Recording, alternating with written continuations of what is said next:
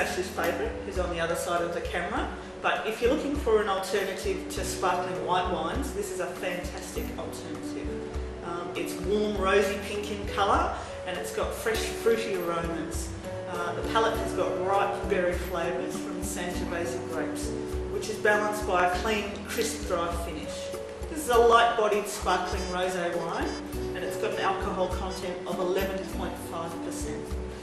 Sparkling Sangiovese rosé has a cork closure and it comes from the cool climate King Valley region in Victoria, which is really well known for making sparkling wines. I like to partner this wine with a fresh tomato based salad. It's a really good.